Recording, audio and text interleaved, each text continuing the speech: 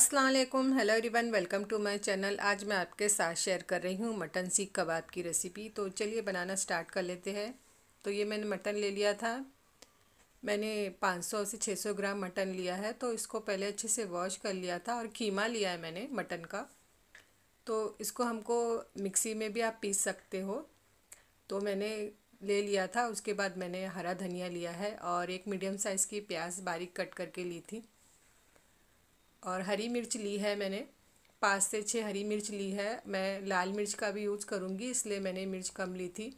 तो लाल मिर्च पाउडर भी मैंने एक चम्मच डाला है इसमें। और इसमें और बाकी के मसाले जाएँगे। तो रेसिपी अच्छी लगे तो लाइक कीजिए, ज़्यादा से ज़्यादा शेयर कीजिए। इस रेसिपी को मेरे चैनल पे नए हैं तो सब्सक्राइब ज़रूर कीजिएगा। तो नमक डाला है मैंने। नमक अपने टेस्ट के हिसाब से डालिएगा। एक चम्मच के करीब नमक डाला था मैंने। धनिया पाउडर डाला है एक चम्मच।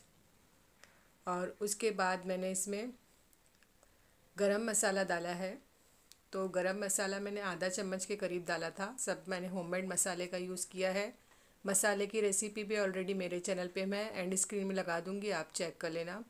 उसके बाद मैंने इसमें हल्दी पाउडर डाला है। तो हल्दी पाउडर मैंने आधा चम्मच डाला था। उसके बाद जिंजर गार्लिक पेस्ट यानी अदरक लहसुन पेस्ट डाला है। तो अदरक लहसुन पेस्ट मैंने एक चम्मच भर के डाला था।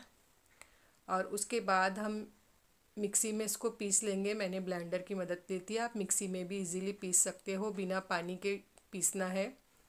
और कीम, कीमा जो है थोड़ा चिकना लेना है। अगर चिकना कीमे का यूज़ नहीं किया है आपने तो थोड़ा एक से डेढ़ चम्मच घी डाल देना इसमें। जितना चिकनापन रहेगा उतने अच्छे से कबाब बनेंगे हमारे। तो अच्छे से मिक्स कर लेना है। तो देखिए कुछ इस तरीके से हो गया ये। तो अच्छे से मिक्स करके फिर हम इसको स्टिक पे लगाएँगे। तो मेरे पास सीग नहीं थी तो मैंने क्या किया, जो बच्चों की पेंसिल आती है, पेंसिल से बना लिया था, कुछ इस तरीके से। हाथ पे पानी लगा लेना है थोड़ा सा ज़्यादा पानी मत लगाना, ताकि अच्छे से प्रेस होके अच्छा शेप आ जाए सीख का। तो मैंने छोटे छोटे साइज़ के ही बनाए थे। आपको अगर थोड़े बड़े साइज़ चाहिए तो आप बड़े बना लेना, और मैंने थोड़ा पतला रखा था, क्योंकि ये अच्छे से क्रिस्पी से हो जाए, और अंदर तक पक जाए। तो ये सब ऐसे ही मैं रेडी कर लूँगी। और सब रेडी करके फिर मैं आपको बताती हूँ।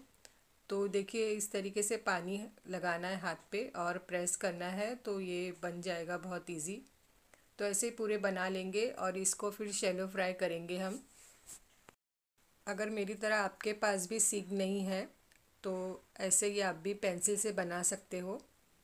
तो बहुत इजीली बन जाते हैं, कोई इसमें झंझट का काम नहीं है। तो ज़रूर ट्राई कीजिएगा। बस इतना याद रखें, जो कीमा हम पीस रहे हैं थोड़ा सा चिकना रहना चाहिए। ये देखिए बन के रेडी हो गए हैं। तो अब मैं इसको शैलो फ्राई करूँगी। तो थोड़ा सा ही तेल डाला था मैंने, ज़्यादा तेल का यूज़ नहीं किया था।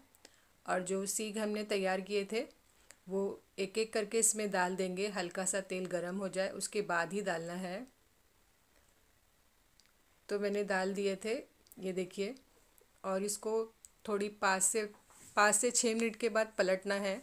तुरंत ही मत पलटी, पलटना इसको। ये अच्छे से गोल्डन ब्राउन हो जाए, तब तक इसको फ्राई करना है ताकि अंदर से भी अच्छे से फ्राई हो जाए। और मैंने चने का आटा या कुछ और यूज़ नहीं किया था। ऐसे ही बनाए थे। अगर आपको थोड़ा पतला लग रहा है तो आप चने का आटा भी डाल देना थोड़ा सा तो ये देखिए, स्लो फ्लेम पे ही बनाया था मैंने।